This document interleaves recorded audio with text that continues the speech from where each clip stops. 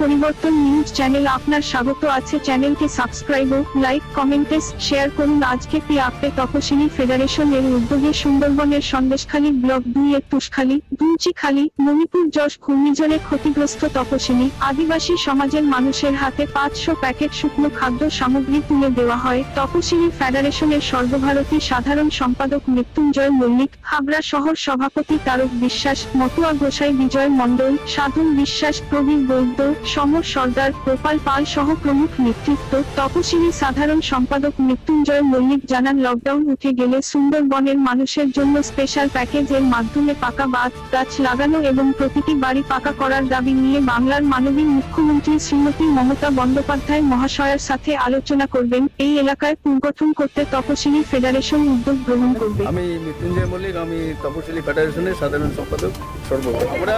বাবা সাহেব, doctor B আর আম্বেদকর প্রতিষ্ঠিত তপশিলি ফেডারেশনের পক্ষ থেকে এখানে বিজয় মণ্ডল কবি তার আহ্বানে আমরা এখানে এসেছি যে যশ যে ঘূর্ণিঝড়, সেই ঘূর্ণিঝড়ে এই সন্দেশখালী ব্লকের এই মণিপুর এলাকার এবং দুলসেখালী এবং দুষখালী বিভিন্ন এলাকায় আমরা শুকনো কিছু খাদ্য সামগ্রী এনেছি। যারা ক্ষতিগ্রস্ত, তাদেরকে আমরা একটু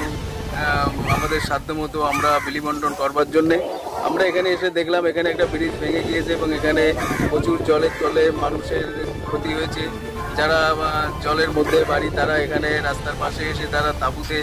থেকে তারা এখানে আশ্রয় নিয়েছে। ফলে আমরা তাদের কাছে কিছু শুকনো খাদ্য সামগ্রী তুলে দিতে পেরে আমরা নিজেদেরকে ধন্য মনে করছি এবং এখানকার মানুষের যে চাহিদা যে এখানে কংক্রিট ঢালাইয়ের যে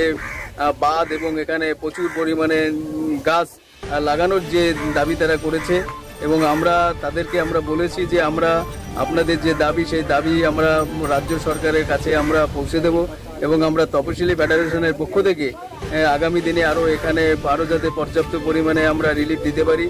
তার জন্য আমরা চেষ্টা করব এবং আশা করি যে এই এলাকায় যে মানুষগুলো ক্ষতিগ্রস্ত হয়েছে সরকারের কাছেও আমাদের দাবি যে যাতে তারা পর্যাপ্ত পরিমাণে রিলিফ পায় এবং তারা যাতে ঘরবাড়ি ভেঙেছে তারা যাতে পাকা বাড়ির ব্যবস্থা হয় তার জন্য আমি রাজ্য সরকারের কাছে তফসিলি ফেডারেশনের পক্ষ থেকে আবেদন রাখব বিষয়টা হচ্ছে এটা সন্দেশকালী ব্লকের সিংহবাগ অংশ তফসিলি জাতি আদিবাসীদের এখানে বসবাস। ফলে বাবা সাহেব আম্বেদকর যে তফসিলি ফেডারেশন তৈরি করেছেন সেই তপশিলি ফেডারেশন বাবা সাহেব আম্বেদকরকে ভারতের সংবিধানে পাঠিয়েছেন। ফলে ভারতের সংবিধানে তপশিলি জাতি আদিবাসীদের জন্য যে সাংবিধানিক যে অধিকার, সেই অধিকার যাতে এখানে সুনিশ্চিতভাবে পায়, তার জন্যই আমরা রাজ্য সরকারের সাথে আমরা দরবার করব এবং তাদের যে অধিকার, মৌলিক অধিকার যে সংবিধানে, সেই অধিকার যদি তারা ঠিক ঠিক মতো পায়, তাহলে তাদের এই প্রতি বছর এরকম তাদের জল থেকে রাস্তায় আসতে হবে না। এবং তাদের এই যে সামান্য কিছু রিলিফের জন্য তাদের ঘর থেকে বেরোতে হবে না। বলে আশা করছি আগামী দিনে তফসিলি জাতি আদিবাসী সমাজের মানুষ যারা আছেন তাদের যে সাংবিধানিক যে অধিকার, সেই অধিকার রক্ষার স্বার্থে তপশিলি ফেডারেশন, রাজ্য সরকারের সাথে আলোচনা রাখবে